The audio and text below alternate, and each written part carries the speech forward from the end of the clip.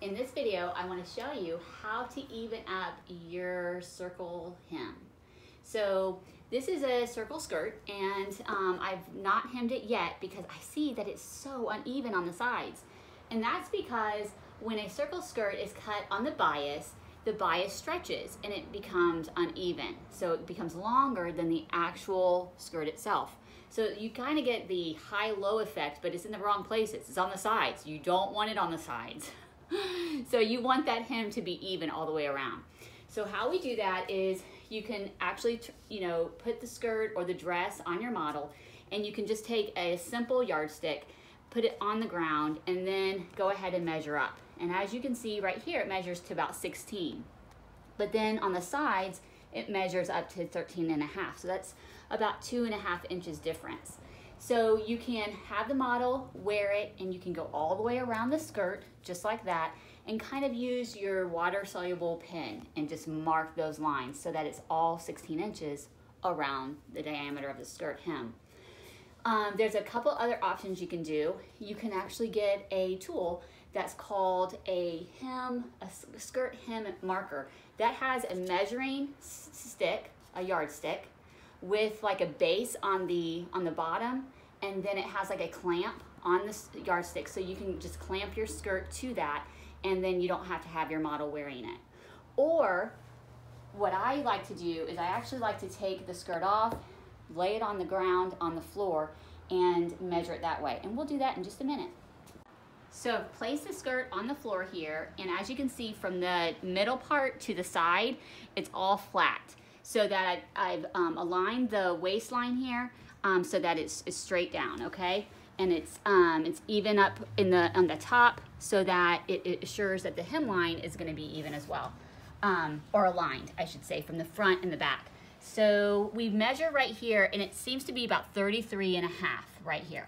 So like what I like to do is move my ruler just slowly and carefully just keep on moving it and that's going to be really hard to see on a black um, dot there. so just kind of skip the black dots and measure the th uh, 23 and a half and just mark your line and just keep on lifting up your ruler um, and scooting it across the hemline.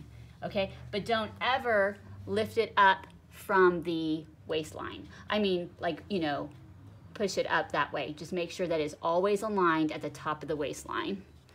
And then just go, keep on going all the way around, such as that. That's again, the, blue, the black dot. Just go all the way.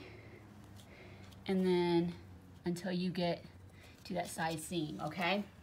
So, and then do this side as well. So lay it out from your side seam area, make sure it's flat, and do the same process on this side and you'll see that, um, that you'll get an even skirt.